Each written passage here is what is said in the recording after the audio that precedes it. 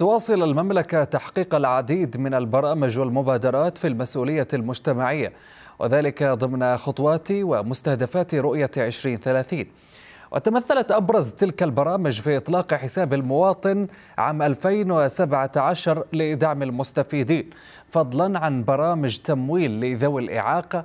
استفاد منها أكثر من خمسة ألاف شخص كما تم إطلاق نظام التشخيص الإلكتروني لذوي الإعاقة.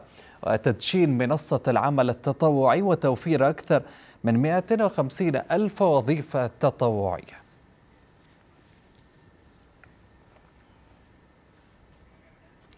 الحديث أكثر يلتحق بنا في الاستوديو المختصة الاجتماعية الأستاذ عبد العزيز المبارك أهلا بك أستاذ عبد العزيز معنا في نشرة النهار. أهلا. حياك الله يا أستاذ حسن وحيا الله المشاهدين جميعا. أهلا وسهلا. بداية ما هي المسؤولية الاجتماعية أو المجتمعية؟ طيب المسؤولية الاجتماعية طبعا مفهوم واسع وكثيرين تكلموا فيه وما راح نسب فيه لكن باختصار أنا بختصرها لكم.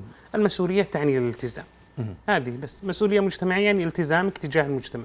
سواء كمنظمات أو كأفراد يعني المنظمات.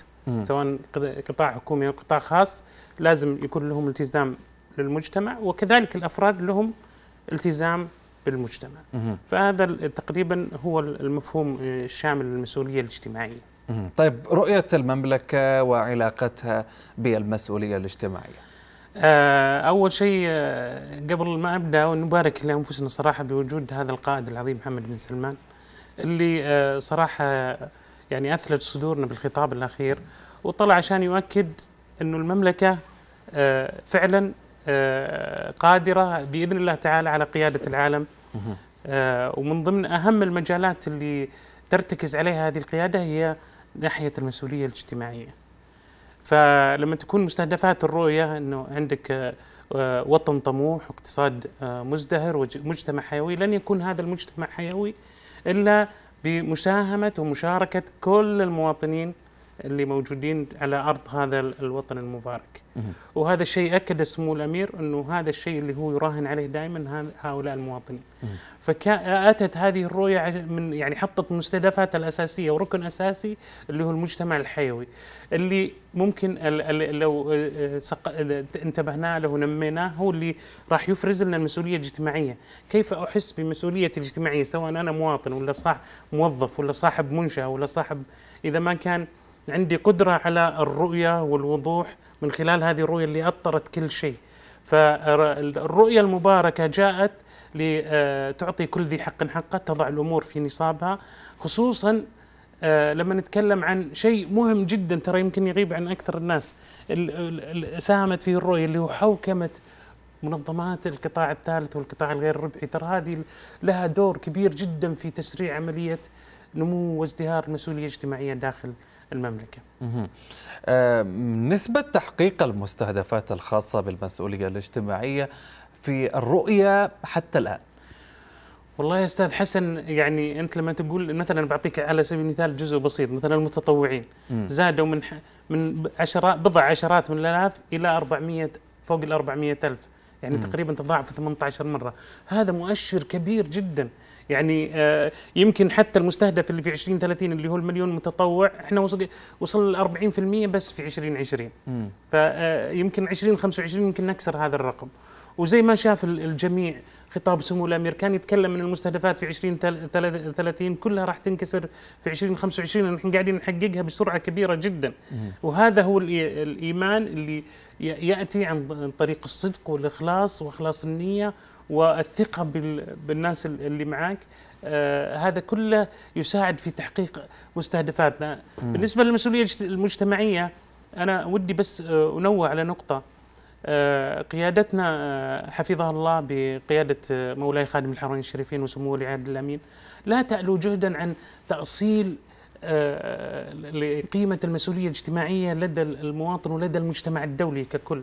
يعني بغض يعني عندنا مثلا مركز الأمير سلمان للإغاثة جهود يعني غير طبيعية لكن أذكر لك مثال بسيط. آخر حادثة حصلت كميات الأكسجين اللي ذهبت للهند. هذا يعتبر مسؤولية اجتماعية. أنت مسؤول عن الم...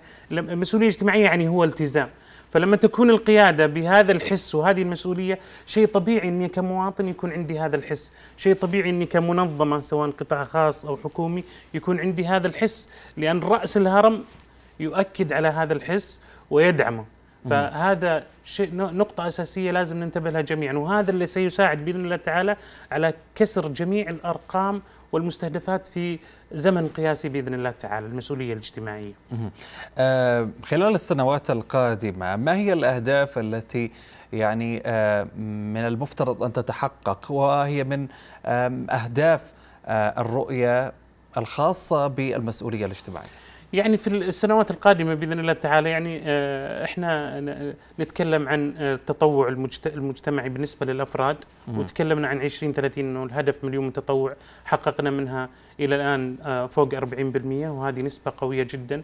نبي نتكلم أيضا عن مساهمة القطاع الخاص في آه، المسؤولية الاجتماعية وفي الدعم وهذا الدولة يعني شوف يا أستاذ حسن لما أقول لك ساهم ساهم ساهم وما أوضح لك الأمور ولا اعطيك أدوات مساعدة معناها اني لكن لما أوضح لك الأمور وأطرها وأنظمها وأعطيك الأدوات المساعدة هنا أنت راح تكون عندك الدافع. يعني على سبيل المثال بعطيك مثلا زي منصة إحسان. م. يعني إلى الآن وصلنا حوالي نص مليار. نص مليار كله من الجهة من المواطنين ومن القطاع الخاص من بعض المنظمات الكبيرة في القطاع الخاص.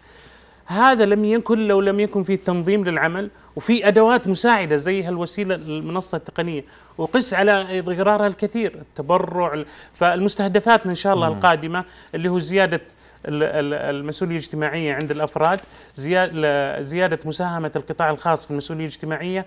وفي نقطة ثانية لما نقول آه، مسؤولية اجتماعية مو بالهدف ليس فقط بس الدعم الدعم في أشياء أخرى يساهم فيها القطاع الخاص. مثل آه، تبني قضايا التوظيف والبطالة، المساهمة في آه، استدامة البيئة، يعني مثلا نتكلم عن مثلا المصانع برضو هذه لها جانب في المسؤولية الاجتماعية إنك تقلل مثلا من التلوث، تقلل من الهدر، في مستهدفات كثيرة. من ضمن أيضا الأشياء المستهدفات في الرؤيه أيضا اللي هو ترشيد الثروات.